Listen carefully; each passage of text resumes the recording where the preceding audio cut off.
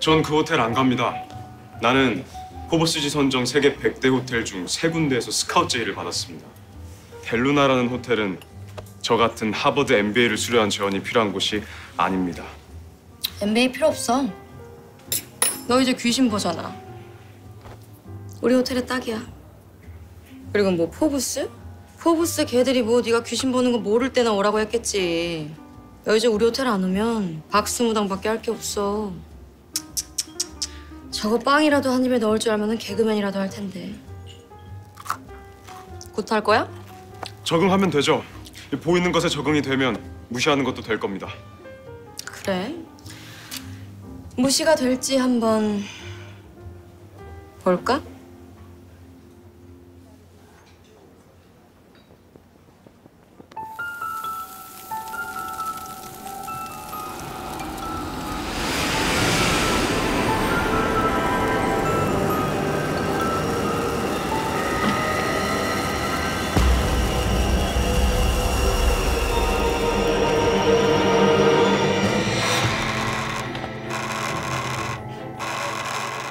가서 커피 받아와. 네 말대로 다 무시하고 한 방울도 흘리지 않고 가지고 오면 인정해 줄게.